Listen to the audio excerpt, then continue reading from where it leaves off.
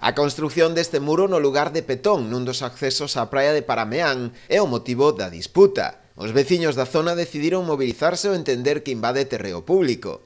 Fixeron chegar as súas queixas á demarcación de costas, que foi quen autorizou a obra, pero tamén o Concello.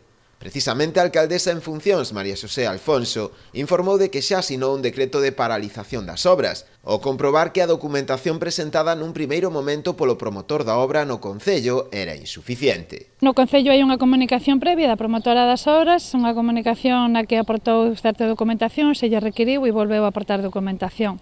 É unha obra que conta con autorización de costas e de urbanismo da Xunta, autorizacións que lle poñen unhas condicións e que parece que estaban incumplindo.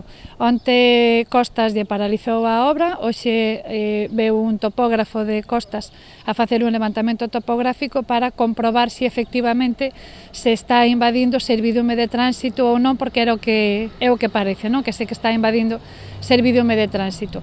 E por parte do Concello, onte volveu a ir por ali un técnico municipal, un aparellador, fixo un informe en base ao que veu ante por ali e en base a este informe se está preparando un decreto de paralización tamén dende o Concello porque eh, o informe recolle algunha deficiencia. Entón dende o Concello e, e vendo como é a situación eh, imos a asegurarnos antes de que está todo perfectamente cumplido desde o punto de vista legal para que poidan seguir para adiante esas obras. Os veciños de Esteiro iniciaron tamén unha campaña de recollida de sinaturas para expresar o seu rexeitamento a esta actuación, así como tamén a través da plataforma change.org.